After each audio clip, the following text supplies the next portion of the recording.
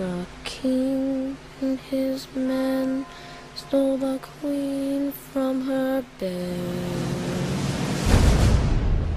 and bound her in her bones. The seas be ours and fight the powers. When